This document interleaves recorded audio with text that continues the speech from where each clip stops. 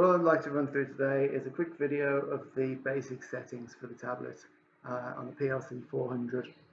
From the home screen we can access the settings on the right hand side here. Uh, we can also shortcut uh, across the top by using the image of the cogs settings.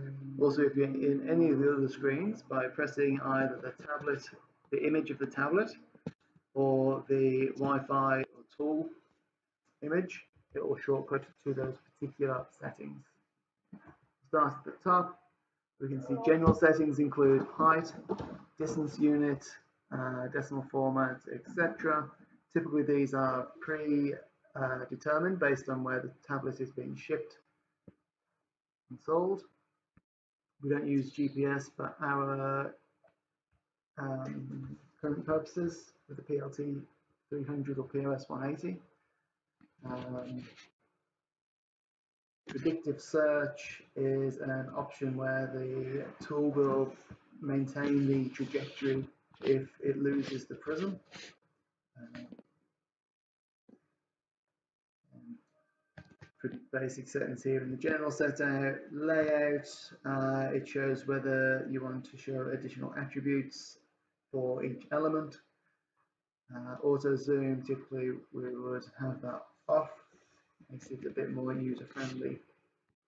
Tolerance, uh, by standard I always set it at best.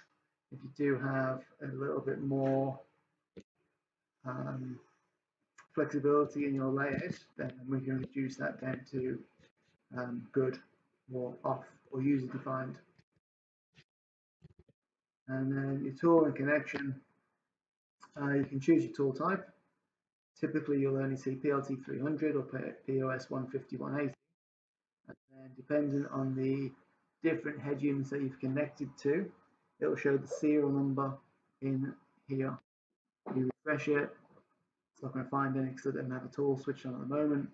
Uh, it will give you the um, the serial number of the tool you can identify that serial number on the sticker in the corner on the bottom of the, the head unit.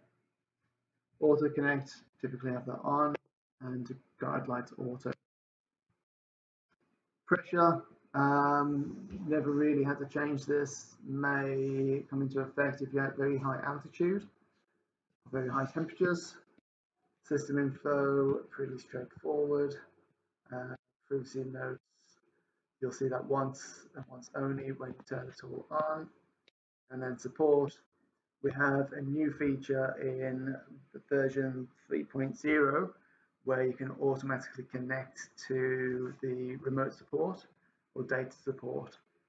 Um, so with remote support it'll bring up the screen for LogMeIn123 which is a feature being launched later in 2020 and the data support if you do have technical issues by pressing that shortcut it will neatly package up all the relevant information um, for that fault to help our tech team to identify the problem and find a fix as quickly as possible.